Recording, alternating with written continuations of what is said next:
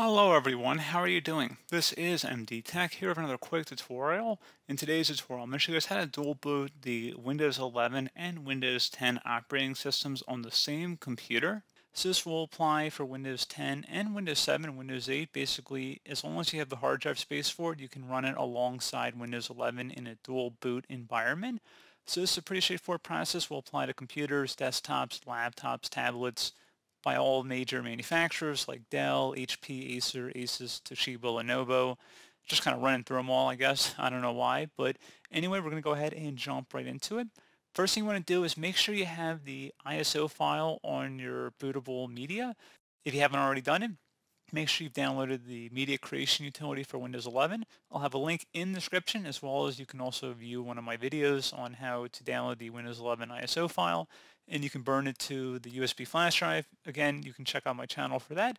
But anyway, once you have your bootable media, we're ready to begin. So we're on our Windows 10 machine, as you can clearly see. And we're going to go ahead and open up the search menu. Type in disk management. Best results should come back with create and format hard disk partitions. Go ahead and open that up. You want to make sure you allocate enough space to this new partition. So generally, I believe Windows 11 wants you to have 65 gigabytes of hard drive space. We're going to cheat a little bit here. I'm going to set it to 15. Make sure you have enough though. In your case, if you can go up to 100, you probably should. Um, just generally speaking, again, if you go too low, it won't actually let you install to the drive, as I found out right before um, recording this video. I believe the minimum, now don't call me on this, I think they wanted at least 11 gigabytes of hard drive space. So I had to scrap that whole thing, and now we're remaking the tutorial and this time we're going to do 15 gigabytes of hard drive space. So if you wanted to have a calculator open, that would be, oh, we're going to just right click on our main partition here and select shrink volume. And you want to go enter the amount of space to shrink in megabytes. So I believe it's 15380 is 1024 times 15. You can enter in whatever you want here. Again, you want to make sure it's large enough. So you can always open up a calculator, which you're welcome to do. And again, 1024, this is in megabytes. That's why it's a big number. And I'm going to multiply it by 15 in my case, so it's actually 15360. So once you have it as you see it on my screen, again, your number may be different. You're going to go ahead and select shrink. And once you're done with that, close out of here. And then you're going to restart your computer and go to the boot menu. So go ahead and restart. And depending on your computer manufacturer, it might be the escape key, F2, F8, F12, for example. Those are the most common ones, but you want to get over to the boot menu and you will have your Windows installation media inserted into your computer, whether it be a USB flash drive or a DVD at this point. In the boot menu, we're going to go down to whatever drive we have our files on. So in my case, it's on a DVD or that's how the system is reading it. So I'm going to select the CD-ROM drive. If you're using USB flash drive, you're going to select that option as well, or in lieu of. So press any key to boot from the DVD. I just selected that, and now it should be booting off of our DVD here. Just give it a moment.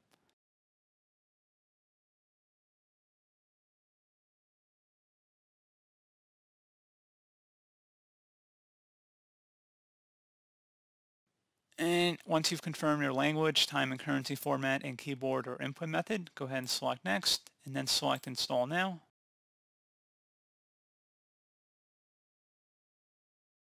And if you have a product key, go ahead and enter that. Otherwise, select I don't have a product key. And you want to accept the Microsoft software license terms. Select Next. Select Custom Install Windows Only. And now we're going to select our unallocated space here. So it's going to be this 15 gigabytes of space that you can see right here. So you can see they recommend at least 20,000 megabytes, but it's still going to let us go though anyway. So that's what we're going to do. Then we're going to select next and give us a few minutes to install here.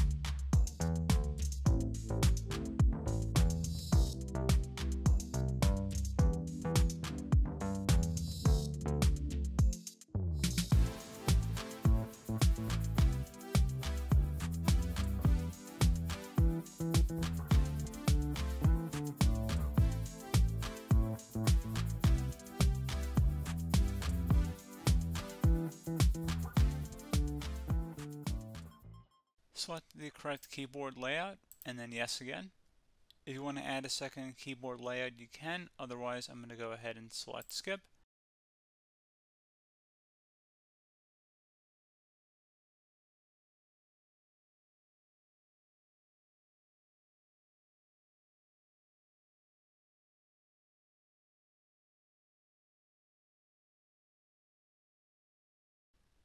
You want to accept the license agreement. You want to name your PC here. Doesn't matter what you want to name it, just name it your name, I guess. And then select next. So it needs to be no more than 15 characters and no spaces or special characters. So I'm just going to call it John and then next. Give it a moment here.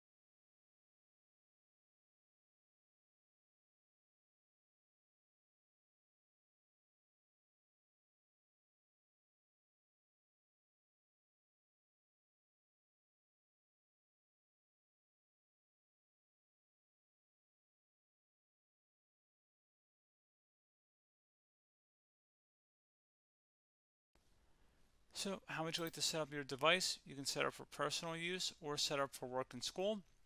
I'm going to set up for personal use and then I'm going to select next. So if you want to sign in with a Microsoft account, you can. Otherwise, we're going to go ahead and turn off our internet. And then we're going to select the back arrow. And then we're going to go ahead and try and create a local account. So if you have an Ethernet connection to your computer, you want to disconnect it or if, if you have your router, you want to go ahead and turn that off. And I'm going to go ahead and switch that off here and give me a moment.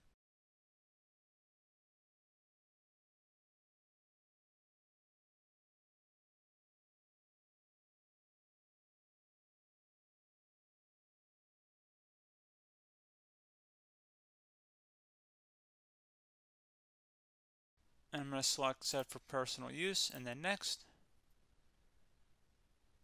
Again, go ahead and enter in your computer name. Keep in mind I just turned off my network connection here. And now I'm just going to go ahead and enter in a computer name. It has to be different than your other name. And then select next. Go ahead and create a password if you choose to do so. Otherwise, just go ahead and select next. Again, I just turned off my network connection and went back a couple steps. And now you see it's letting me create a local user account on my computer instead of a Microsoft account. So that's the only way you got to do it. You have to actually disconnect from the internet and then Microsoft will let you use a local account. So you can go ahead and choose your privacy settings at this point. Usually I unselect almost all, if not all of these options, just in my own personal preference, and then I select accept.